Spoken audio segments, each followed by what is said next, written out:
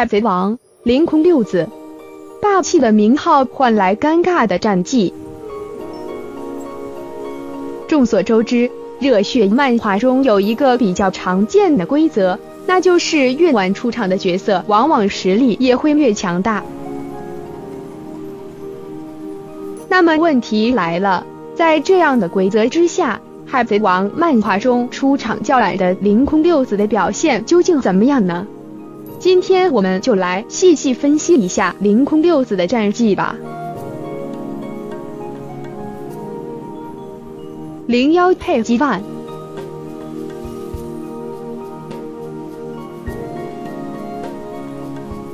在鬼岛宴会前的凌空六子会议上，作为众人调侃的对象，佩吉万基本可以确定为凌空六子中最弱的存在了。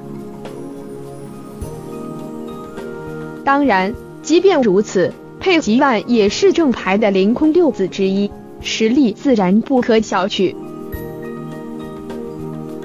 本以为佩吉万就算不能在鬼岛决战篇中大放异彩，至少也有可圈可点的表现。万万没想到的是，在这场激烈的大战中，佩吉万先是被乌索普阻挠，难以追上阿玉的守护博犬博千代。之后又被愤怒的四皇大妈一拳击中喉部，当场倒地，再起不能。暂不确定佩吉万是否还能参与之后的战斗。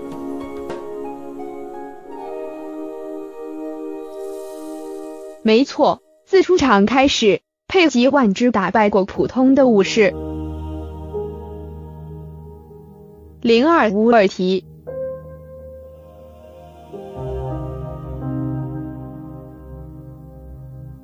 相比佩吉万来说，身为姐姐的乌尔提的表现就好多了。在鬼岛决战篇开始不久，乌尔提与路飞展开了激烈的交手。不过这场交手并没有持续很久，随着大河的突然加入，乌尔提迅速败在了大河的雷鸣八卦之下。凭借着出色的身体强度，乌尔提很快就恢复了过来。苏醒后的乌尔提与弟弟佩吉万联手打的奈美等人节节败退，战况逐渐往有利的方向发展。就在乌尔提展现高光的关键时刻，四皇大妈出现了，还莫名其妙的攻击了他和佩吉万。仅仅一个回合，乌尔提就被重创倒的了。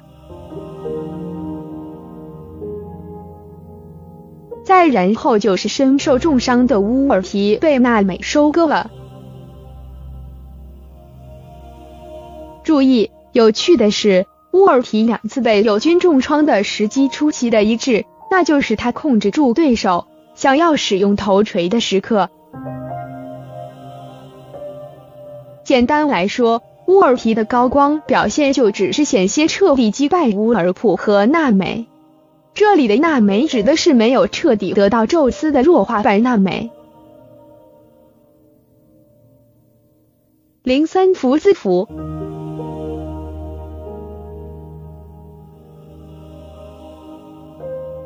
值得一提的是，在早先的凌空六子会议上，福兹福展现出了极为嚣张的一面。让人不得不怀疑他是凌空六子中的最强者候补之一。那么，如此嚣张的福兹福的战绩又如何呢？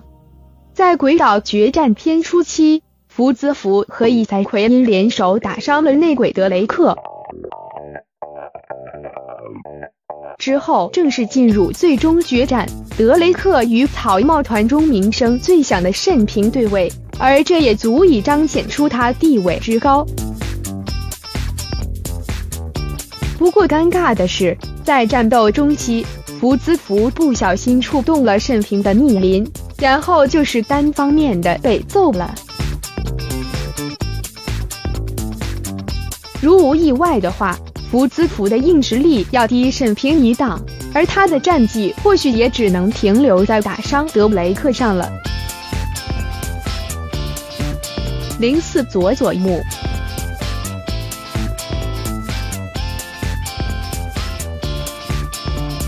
另一边，同样被认为是凌空六子最强者候补之一的佐佐木的处境也很尴尬。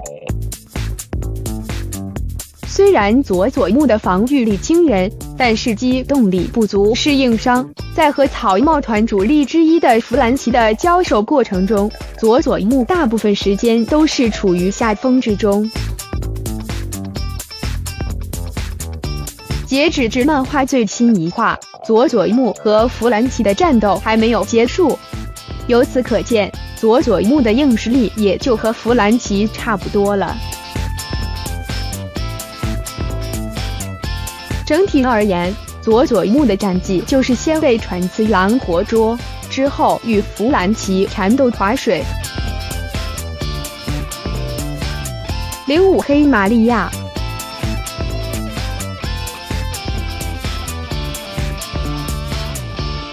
在宴会开始之际，黑玛利亚与凯多贴身而坐，让人不由得对其实力产生了怀疑。可是令人意想不到的是，这位和凯多关系非同寻常的凌空六子，则是战绩非常亮眼的一位。截止至目前为止，黑玛利亚凭借着自身的优势击败了黑族山治，并且在自己的蜘蛛丝被克制的情况下，以一己之力拖住了布鲁克和罗宾，可谓是战绩斐然。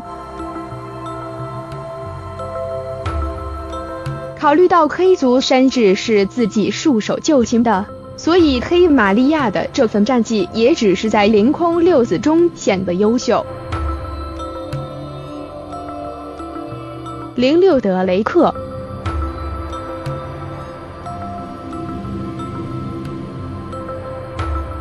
既然是说凌空六子的战绩，那么必然要提一下的雷克了。自从被发现室内鬼之后。德雷克就不遗余力地帮助草帽团，在索隆的帮助下，德雷克成功击败阿普，避免了全程划水的最坏情况。注意，德雷克击败的是被索隆重创后的阿普。整体而言，凌空六子的表现和战绩真是太惨了。基本都没有很多的作用，霸气的名号换来的却只是尴尬的战绩，可悲可叹。当然，在这场大战中，强如三灾也都是被压制的状态，更何况是区区凌空六子呢？他们这个表现也是正常的。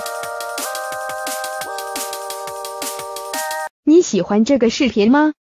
希望你能有一些放松和娱乐的时刻，可分享出去，让更多人知道吧，并且不要忘了留下一个喜欢，订阅我，再见。